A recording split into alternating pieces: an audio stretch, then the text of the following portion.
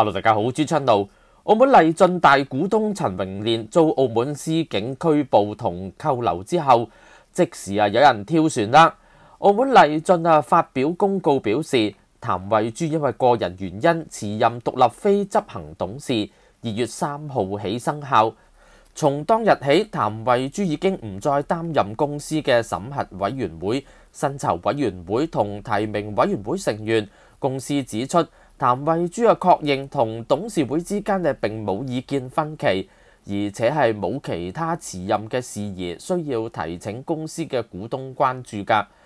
譚慧珠係喺大股東陳榮煉因為涉嫌非法經營賭博，喺一月底喺澳門被捕之後，首個跳船嘅公司董事啊嚇。譚慧珠辭任之後，澳門勵駿啊只係得兩名獨立非執行董事，因此啊未能符合港交所上市規則。即係需要至少擁有三名獨立非執董。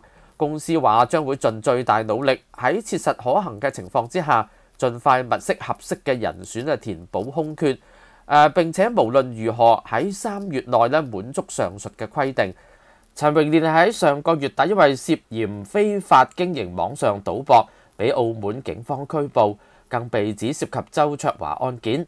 澳門勵駿喺一月三十一號話，大股東陳榮煉為免分散公司注意力同出於公司股東嘅整體利益，已經辭去公司執行董事、董事會聯席主席兼行政總裁嘅職位，並且即日生效㗎。OK，呢一集睇到先。如果中意我哋 channel，記得訂閱啦。下次見，拜拜。